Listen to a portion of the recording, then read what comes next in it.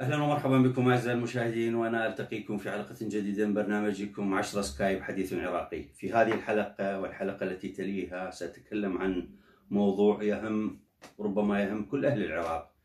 بالتأكيد يهم أهل أهل العراق جميعا. والموضوع اللي يتعلق بصحة العراقيين وهم يواجهون وباء كورونا. يوم الجمعة الماضي قالت منظمة الصحة العالمية إن العالم بالنص قالت إن العالم دخل مرحلة خطيرة من جائحة كورونا. الفيروس يواصل التفشي سريعا ويبقى مميتا ولا يزال غالبية الناس عرضة له. هذا التحذير اللي اللي آه، يعني أطلقته منظمة الصحة العالمية لم تطلق تحذيرا مثله منذ بدء تفشي كورونا قبل أكثر من خمس أشهر ربما لم تطلق مثل هذا التحذير لكن اليوم أطلقت مثل هذا التحذير. بعد ان شهدت إن الناس بدأت تتحرر من كثير من القيود. بعد ان شهدت بأن ارتفاع عدد الإصابات في العالم وبالذات في منطقة الشرق الأوسط. العراق من ضمنها بدأ يزداد كثيرا. العراق اليوم يسجل أكثر من 1500 حالة مع تدني عدد الفحوصات. يعني العراق يفحص يمكن ربما 10000 فحص في اليوم. وهذا آه، قليل جدا مقارنة بعدد السكان. نسبة نسبة السكان إلى نسبة السكان قليل جدا لا يساوي أقل من واحد أقل من نصف واحد بالمئة من عدد سكان العراق آه، العراق البالغ 40 مليون نسم. مثل ما تقول وزارة التخطيط ويقول آه، كل المسؤولين في هذه الحكومات وأحزاب السلطة. فبالتالي يعني هذه هذه الفحوصات التي أجرتها أجرتها يعني وزارة الصحة منذ بداية الفيروس ظهور فيروس كورونا في العراق. لغايه اليوم أكثر من ثلاثة أشهر. ربما أجرتها بعض الدول في يوم واحد أو يومين. الآن على سبيل المثال في تركيا تجري أربعين ألف حالة فحص أو أكثر ربما باليوم الواحد. في العراق ما زالوا يحاولون أن يجتازون آه، يعني عتبة العشرة آلاف آه، فحص في اليوم. وهذا هذا حالة خطيرة جدا جدا. الوضع في العراق آه، خطير الفيروس ينتشر بشكل كبير آه، الإجراءات لمواجهه هذا الفيروس آه، لا تعني شيئا مطلقا لأنها قاصرة وغير قادرة أن تلبي تلبي الحد الذي يوقف هذا الفيروس الحقيقة. ربما هذا يجعلنا نتحدث عن الواقع الصحي في العراق.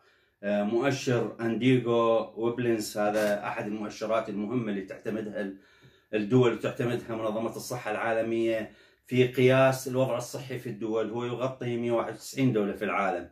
من ضمنها العراق. يضع العراق في المرتبة تسعة من بين 20 آه، آه، دولة هي ذيل القائمة.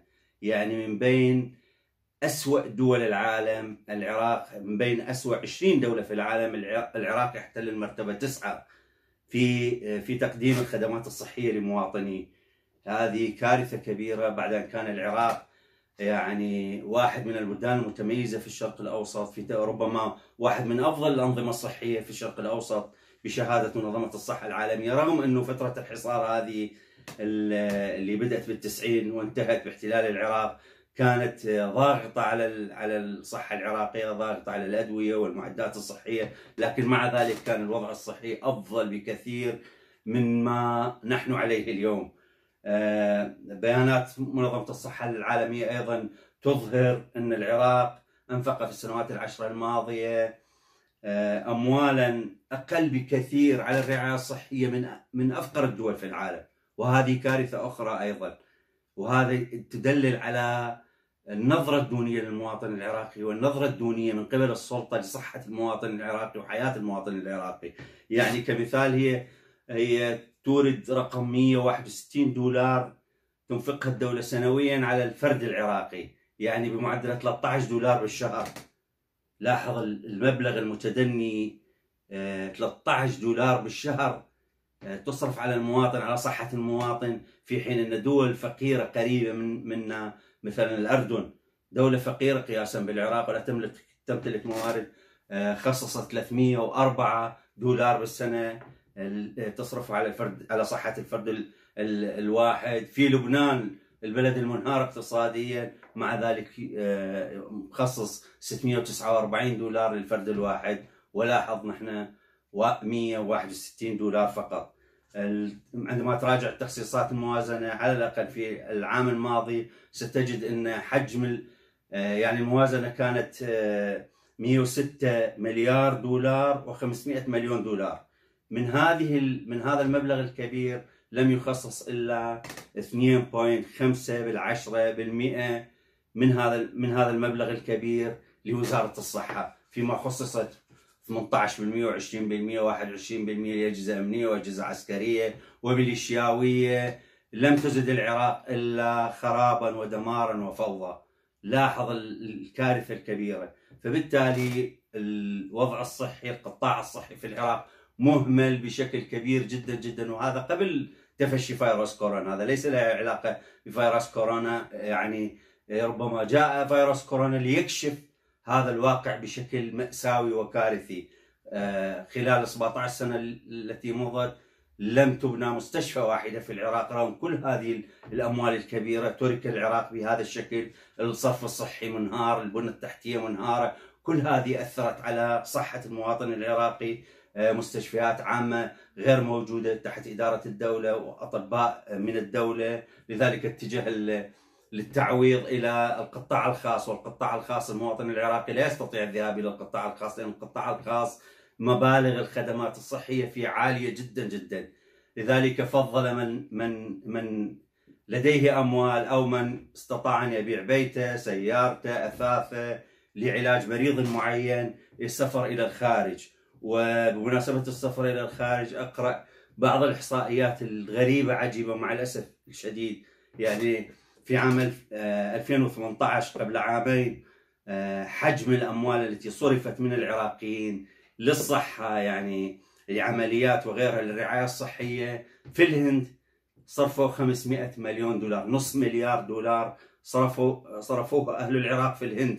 الحكومة الهندية أصدرت 50 ألف فيزا صحية للعراقيين وهذه كارثة حقيقة. عدد الدول الأخرى طبعا الكثيرة.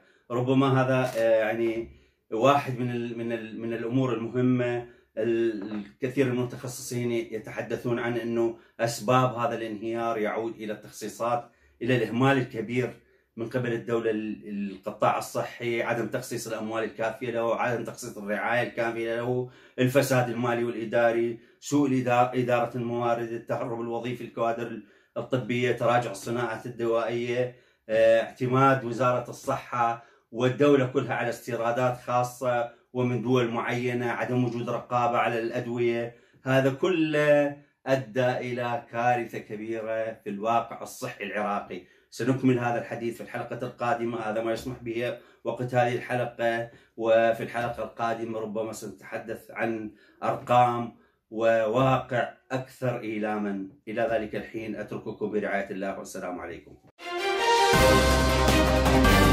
Thank you.